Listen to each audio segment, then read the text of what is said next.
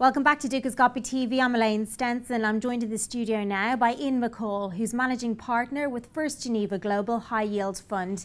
Ian, you're very welcome to the studio. Thank you, Elaine. So, emerging markets had a tough year in 2013. 2014 is shaping up to being even more difficult for emerging markets. Factors for this include rising interest rates, political turmoil in some areas, and fears of a global economic slowdown. But how much of an impact did tapering have on on emerging markets?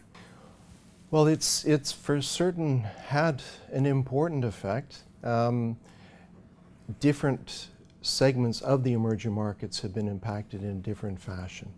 It's important to look at um, stocks, bonds, and then within bonds, high yield and investment grade. Um, in the case of what's happened and where can we go with tapering, um, in summer we were at 160 you know, one yield of 1.6 on the 10-year Treasury. We're now up at, at the start of January, 3%. During the course of January, it went all the way back to 260. So there's been a month in January we've had two extremes. The first week there was euphoria, risk assets, stocks, bonds rallied quite dramatically. And then there was a number of data points that began to come out that began to concern people in addition to what was going on with tapering and prospective um, prospects for tapering. Um, so you saw, in fact, by the end of the month, the 10-year Treasury having rallied significantly. Safe havens rallied throughout the month. Risk assets really had a dramatic reversal. Tapering was a big part of that, but probably the most significant factor at work was concerns about growth or the lack of or sustainable levels in currencies in various of the emerging markets. Okay, and there are fears of an economic slowdown in Asia. This is coupled with a potential banking crisis in China and a potential real estate bubble in China also. How concerned are you about this?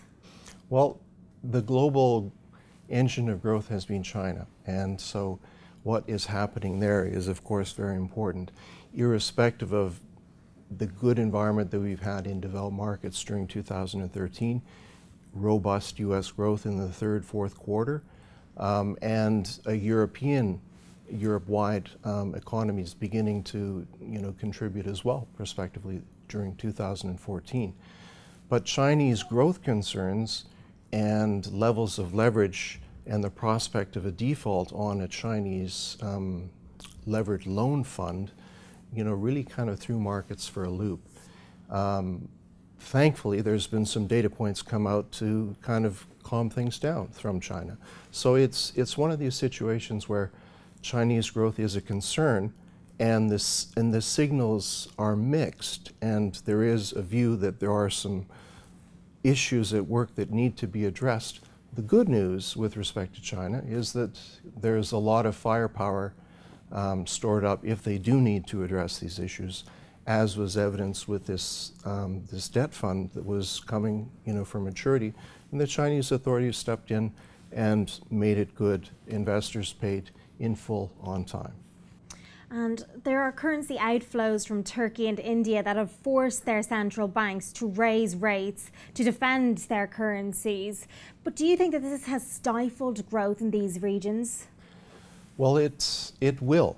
And this is, in fact, part of the medicine that, um, that has to be doled out. And one of the problems writ large across all of these countries that you've just mentioned is that the authorities, the central banks in each of these situations have been allowing the currency to be too strong, um, coupled with expansionary monetary policy so you've had a, a situation where the currency was too strong and interest rates have been too accommodative, and you've had a situation where that's allowed the residents of Turkey, the residents of Argentina, Ukraine, Venezuela, etc., to be buying from outside of the country with a superpowered currency. And, and this is unsustainable and this is a problem. And so the, the moves that we've seen in currencies during this month um, while quite dramatic, are a move in the right direction. Important to come along with an adjustment in the currencies is a monetary framework, a fiscal framework that investors can look at and have confidence in. So this is this is where there's still some moving, um, you know, moving parts that are that are coming together. Hopefully, coming together in some cases, and maybe not going to come together in some some other cases. Okay, Ian, thank you very much for joining us today. And that's all we have time for for now, but do check back later for further updates and for further interviews from the TV team. Bye for now.